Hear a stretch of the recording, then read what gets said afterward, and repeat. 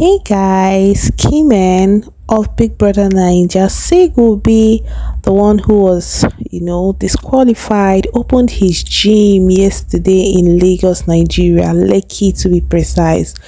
This gym is given, trust me, it's like the biggest I have seen so far. So, guys, if you're in Lagos, you should go check um oh, i've forgotten the name. I will remember before the end of this video.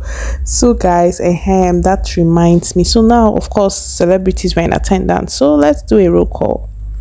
Well you can see nancy isime and the circle is efe money. The efe is 2017 big brother naija winner.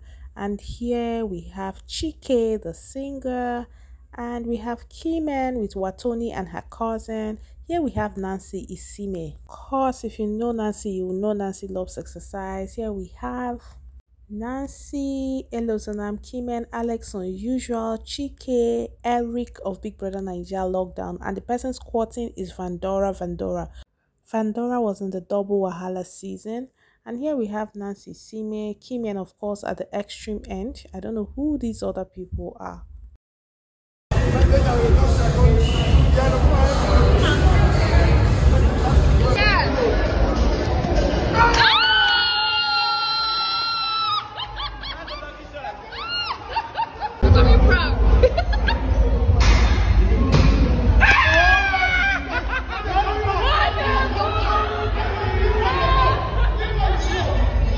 So you just saw Kemen and his friends playing and here we have Wathoni and Giddyfia course they had lots of fun.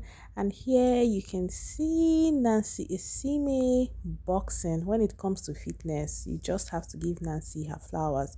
So of course the name of the gym is Pure Fitness Africa. So that's all for this post. Catch you later